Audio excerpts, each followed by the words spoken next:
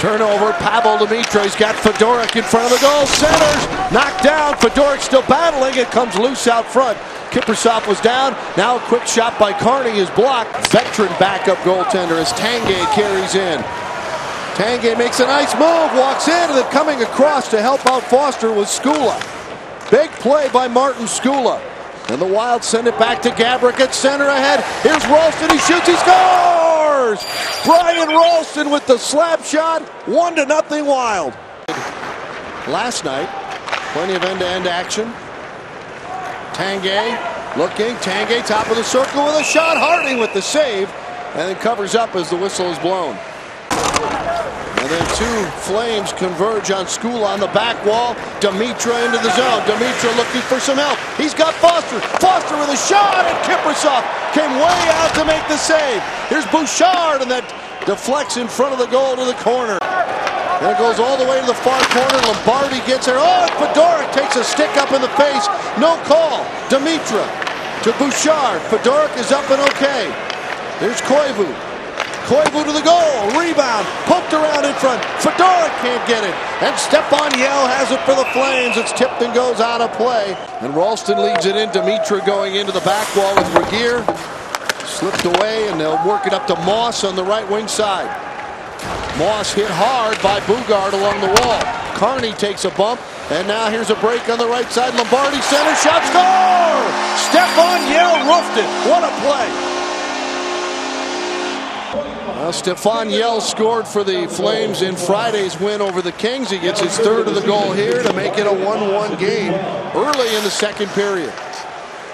Phaneuf shoots, tipped, glove saved by Harding. Change direction out in the slot. LPU sends it back behind. Sheppard trying to come up with it. Pinned along the board. Sheppard steals it away. Sheppard stick handling, drops it back. Bayu with a shot. He didn't get much on it. And Kiprusoff with the glove save. Huselius drops it back. Sarich has it broken up. Kicked ahead. Here's Fedoruk. Gaborik going to the net. Gives it to Gaborik. Gaborik shoots. Save made. Rebound Fedoruk. And another stop by Kiprusoff and had a great opportunity near the end of the second period. Bouchard in traffic, right to Johnsson. Johnsson slides it over, a drive, and Kiprusoff got over to make the save, and then a centering pass goes all the way back into the Minnesota zone.